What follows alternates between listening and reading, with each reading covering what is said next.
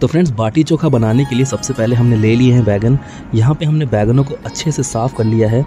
इसके बाद हम अपने बैगन में चीरा लगाएँगे और इसमें लहसुन स्टफ़ करेंगे और इसके बाद हम इसको तेल से कोट करेंगे।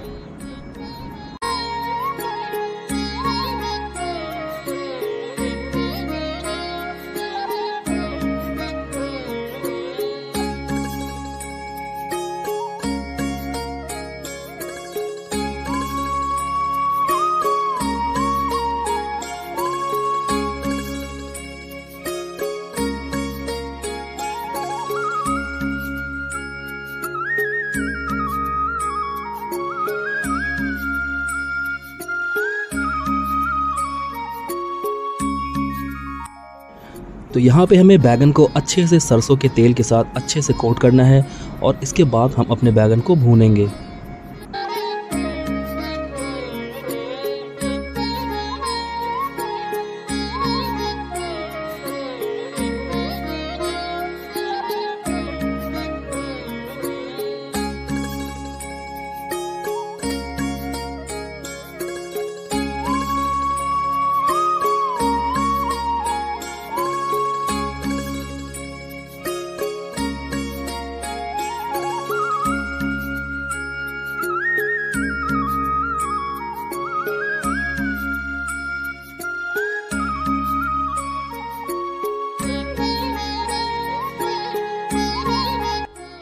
तो यहाँ पे आँच बिल्कुल रेडी हो चुकी है और अब हम सारे बैगन को आँच के ऊपर रखेंगे और इन्हें बहुत अच्छे से भूनेंगे।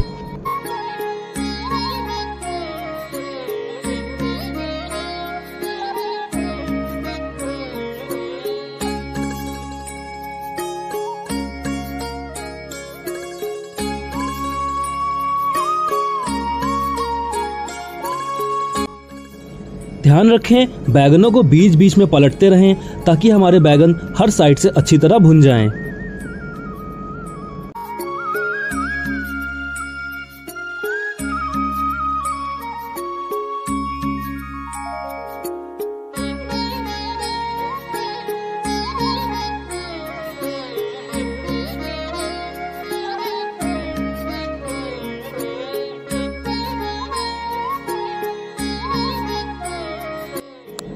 हमारे बैगन बहुत अच्छे से भुन चुके हैं। तो चलिए अब हम इन्हें एक प्लेट में निकाल लेते हैं और अब हम इन्हें ठंडा करने के लिए रख देंगे।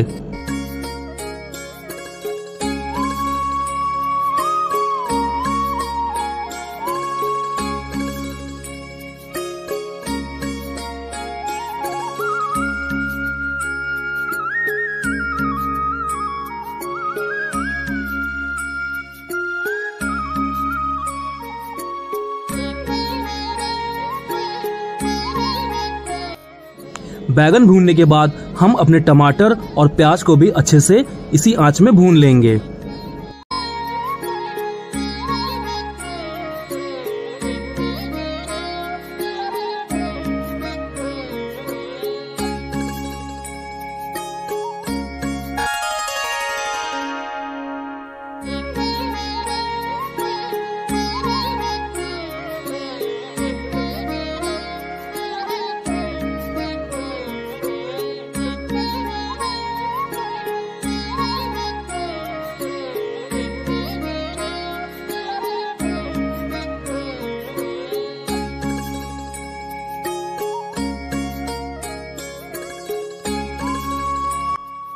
तो यहाँ पे हमारे प्याज और टमाटर भी बहुत अच्छे से भुन चुके हैं और अब हम इन्हें भी एक प्लेट में निकाल लेंगे और ठंडा होने के लिए रख देंगे।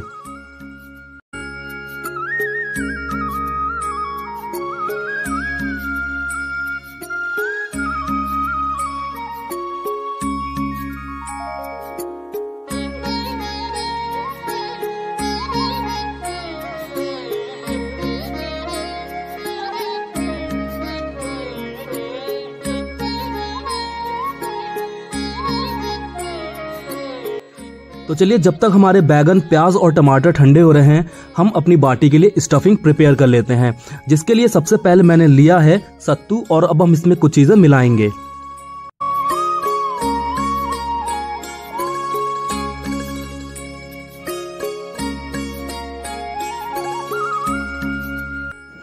तो सबसे पहले हमने मिलाई है सत्तू में कलौंजी, उसके बाद हमने मिलाई है दो से तीन कटी हुई हरी मिर्च, इसके बाद हमने मिलाया है इसमें कटा हुआ अदरक और लहसुन।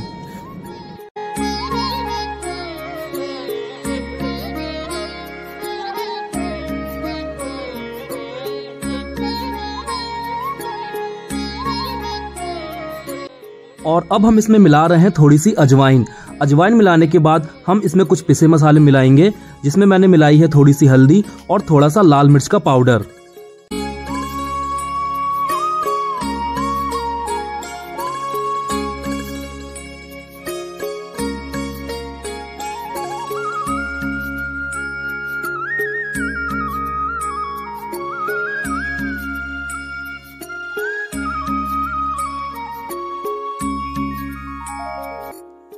इसके बाद हम इसमें मिलाएँगे स्वाद के अनुसार नमक और साथ में लाल मिर्च का अचार।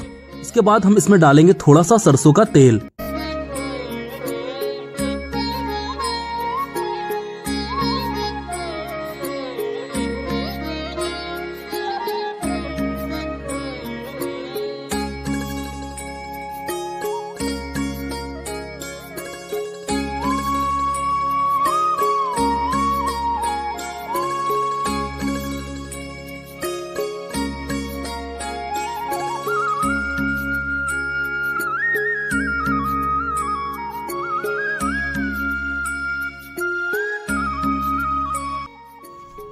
और अब हम इसमें मिला रहे हैं एक नींबू का रस और साथ में कटे हुए प्याज। इन सारी चीज़ों को डालने के बाद हम इस मिक्सचर को अच्छे से मिक्स करेंगे।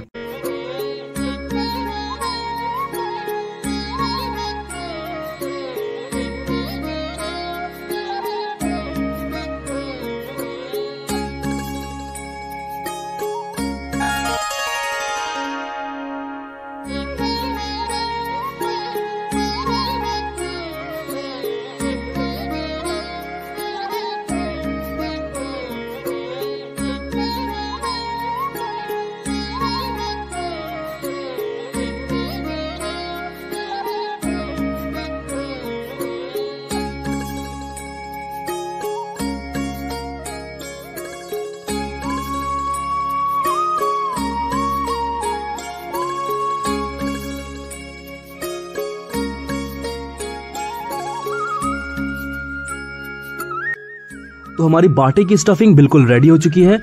तो चलिए अब हम बाटी बनाना स्टार्ट करते हैं।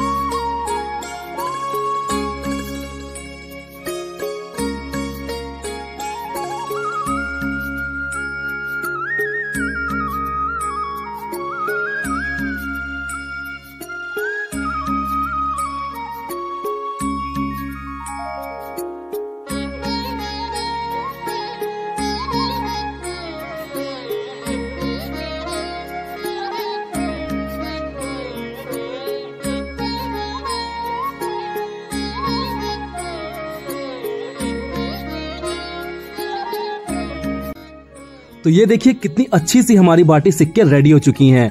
इसके बाद हम एक छोटा सा प्रोसेस करेंगे। हम अपनी सारी बाटी को निकाल लेंगे और एक बार इनको पानी में डिप करेंगे। इसके बाद हम इनको फिर से दोबारा से सेकेंगे। ऐसा करने से हमारी बाटी अंदर तक सॉफ्ट हो जाती हैं।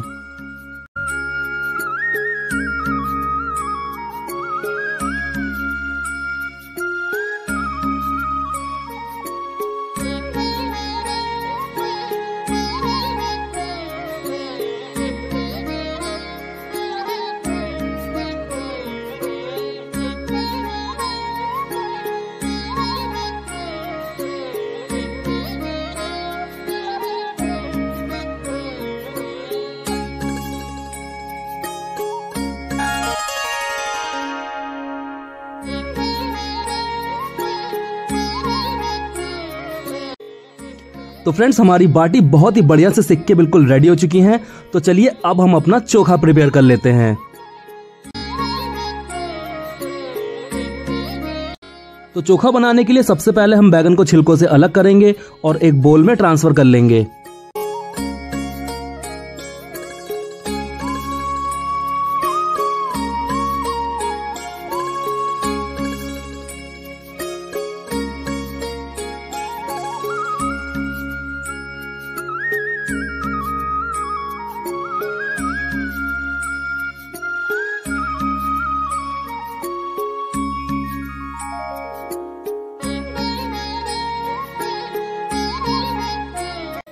इसी तरह हम प्याज और टमाटर का भी छिलका अलग कर लेंगे और सेम बोल में ट्रांसफ़र कर लेंगे।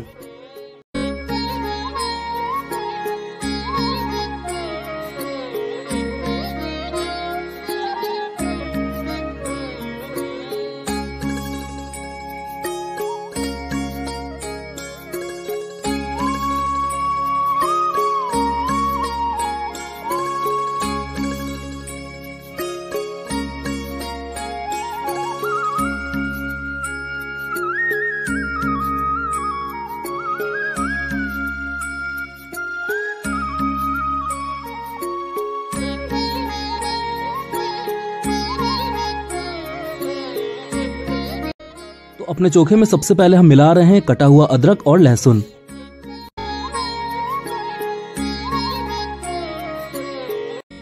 इसके बाद हम इसमें मिलाएँगे कटी हुई हरी मिर्च।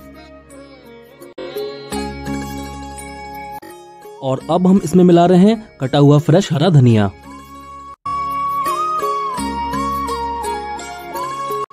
इसके बाद हम अपने चोखे को बहुत अच्छे से मिक्स करेंगे।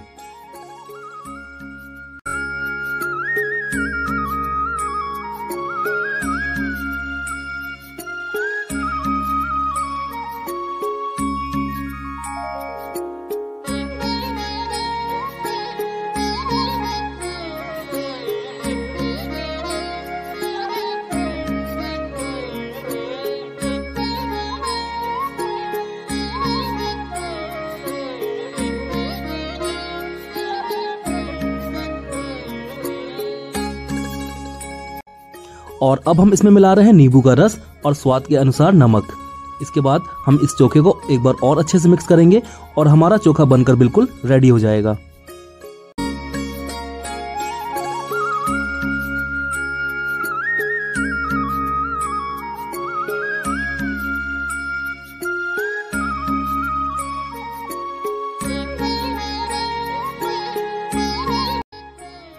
तो हमारा चोखा बनकर बिल्कुल रेडी हो चुका है और हमारी बाटी भी तैयार है। तो चलिए हम अपनी बाटी को अब कपड़े से साफ़ कर लेते हैं और अपना बाटी चोखा सर्व करते हैं।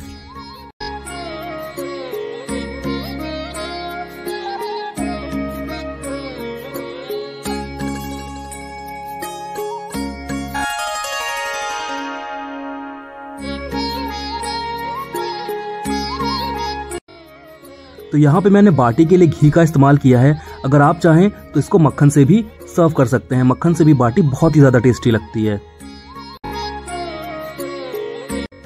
तो रेडी है हमारा पूर्वांचल स्टाइल बाटी और चोखा। अगर आपको मेरा ये वीडियो पसंद आया है तो प्लीज़ मेरे चैनल को लाइक करें शेयर करें एंड सब्सक्राइब करें। Thank you so much